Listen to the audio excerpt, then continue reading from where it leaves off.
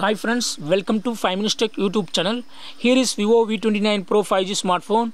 In this video, you will learn how to remove Vivo account in your phone Vivo V29 Pro 5G. First of all, go to the settings of your phone here.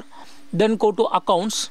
Go to accounts and uh, click on the Vivo account and uh, click on I agree and click on sign out and after signing out all services related to the account on this phone will be temporarily unavailable. Okay.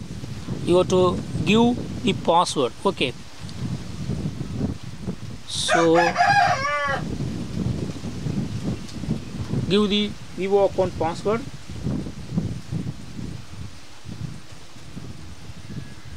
I have given and click on OK it will be removed. Okay uh, but uh, password is incorrect as of now.